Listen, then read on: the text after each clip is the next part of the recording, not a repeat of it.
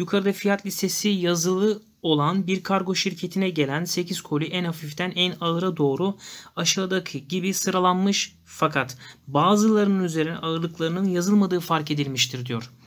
Şimdi bu kolilerin ağırlıklarının sayısal değeri hem bir tam sayının pozitif değerine hem de bir tam sayının tüm pozitif tam sayı çarpanlarını ifade ettiğine göre üzerine ağırlıkları yazılmayan kolilerin gönderim ücreti toplam kaç TL'dir arkadaşlar? Önceki derslerimizde söylemiştik biz bunu. Şimdi burası 1 kilo, 2 kilo, şurayı bilmiyorum. Şurası 5 kilo, şurayı bilmiyorum.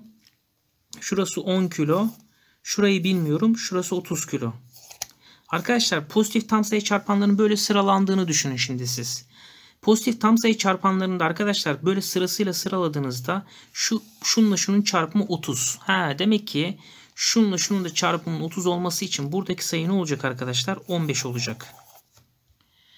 Şuradaki ile şuradakinin e, çarpımının 30 olabilmesi için arkadaşlar çok özür dilerim. Şuradaki ile şuradakinin çarpımı 30 olabilmesi için ne olacak o zaman şuradaki? 3 olacak. E şuradaki ile şuradakinin 30 olabilmesi için şuradaki de 6 olacak arkadaşlar.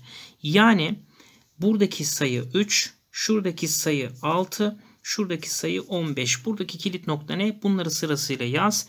En baştaki ile en sondakinin çarpımı, şunla şunun çarpımı, şunla şunun çarpımı ve şunla şunun çarpımı birbirine eşit olacağı için sorumuzun çözümü bu kadar basit oluyor arkadaşlar. Şimdi ne diyor?